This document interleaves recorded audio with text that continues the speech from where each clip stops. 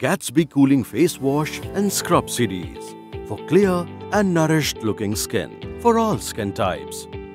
Before use, wash your face with water. Squeeze out a dollop of Gatsby Cooling Face Wash and Scrub on your palm and lather it well using water.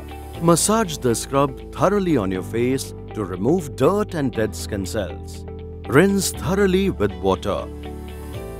Leaves your skin well nourished and refreshed all day long.